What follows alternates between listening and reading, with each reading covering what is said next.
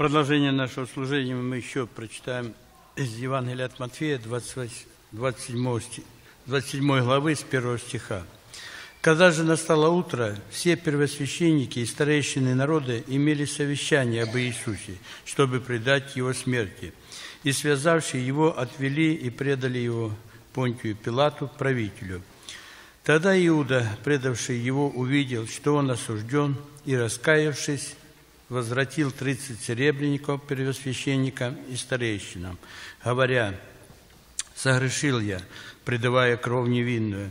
Они же сказали ему, что нам до того, смотри сам. Бросив серебряники в храме, он вышел, пошел и удавился до этого места. Знаете, дорогие друзья, мы прочитали место, где собрались книжники и первосвященники. Собрались для того, чтобы осудить нашего Господа Иисуса Христа. Собрались осудить невинного. Все их мысли были о том, что сделать, как сделать, чтобы его осудил народ, чтобы народ не заступился за него.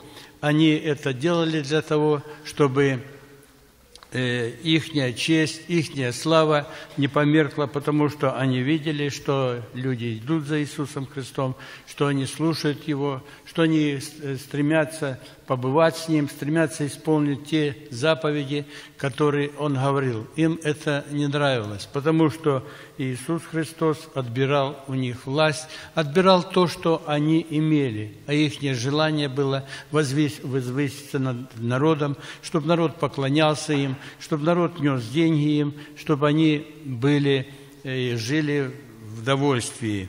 И вот они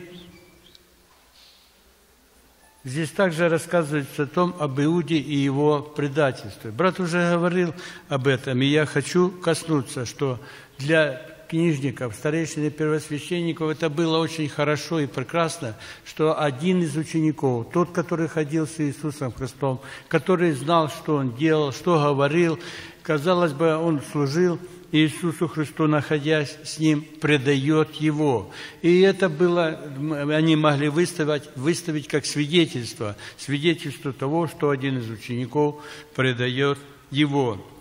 И вдруг они видят, что этот человек отказывается от всего того, что он затеял. Потому что здесь написано, когда Иуда, предавший его, увидел, что он осужден, он раскаялся.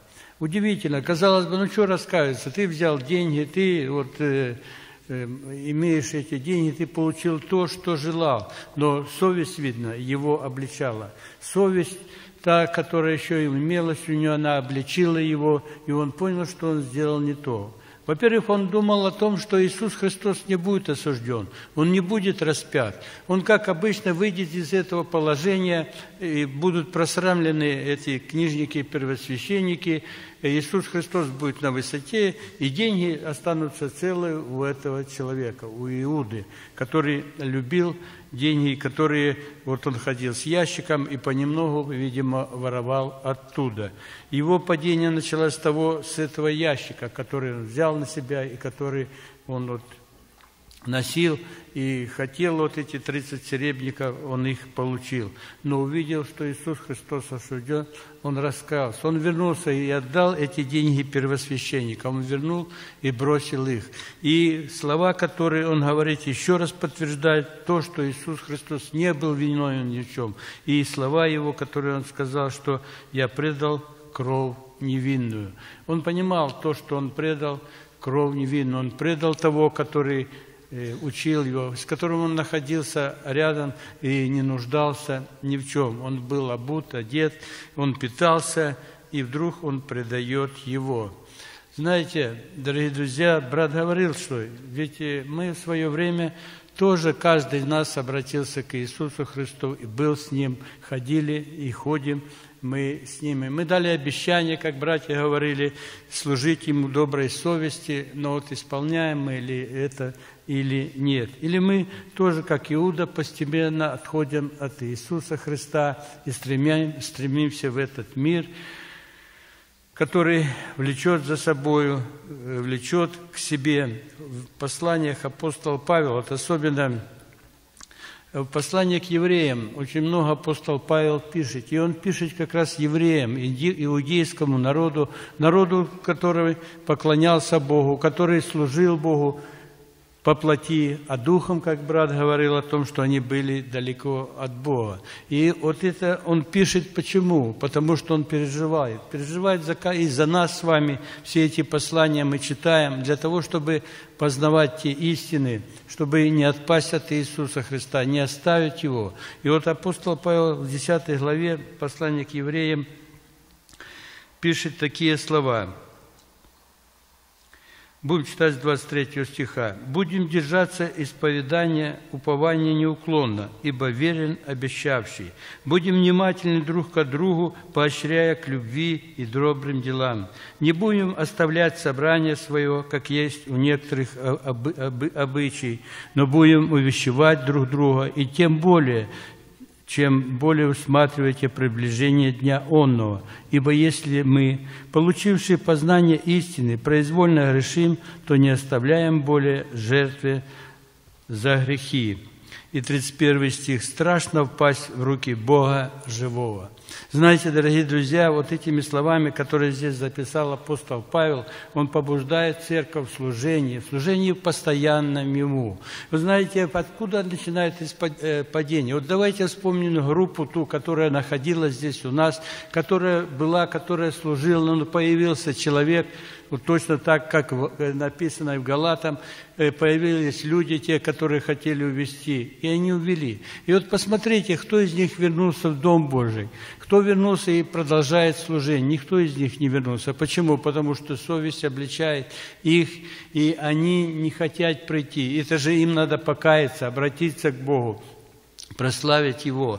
И это падение может происходить каждому из нас, если мы не будем посещать собрания. Апостол Павел говорит именно верующим людям, тем, которые знают Бога, которые поклоняются. И Он говорит им, напоминает о том, не оставляйте собраний ваших. Почему? А ведь знаете, дорогие друзья, ведь многие, вот сегодня мы собрались, вот посмотрите, у нас много, не все, но большая часть сегодня в Доме Господнем, потому что вечеря, вечеря Господня.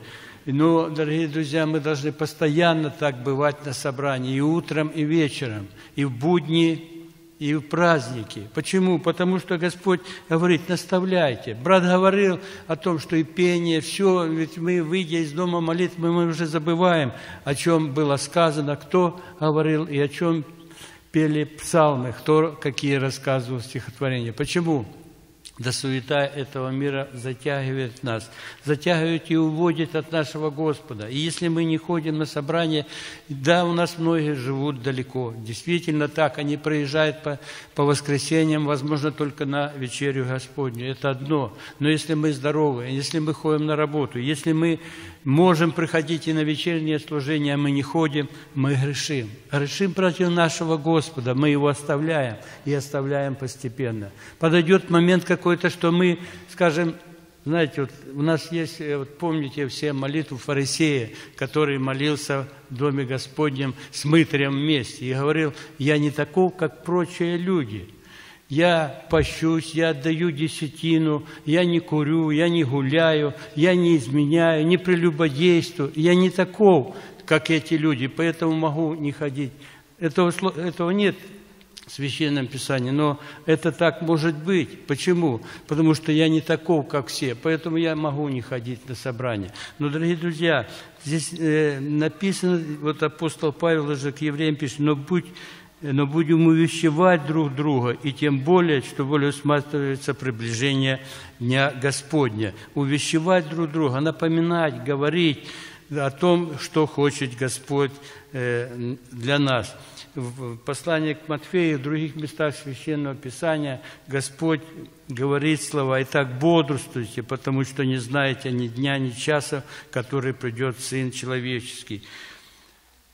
Потому что будьте готовы, ибо в который час не думаете, придет Сын Человеческий. Вот знаете, для нас всех должно быть напоминание вот, э, дня сошествия Духа Святого на учеников. Они были вместе. И там и в первой главе, и во второй, и в третьей, и во многих местах священно единодушно вместе. Едино, единодушно вместе пребывали, и Дух Святой сошел на них.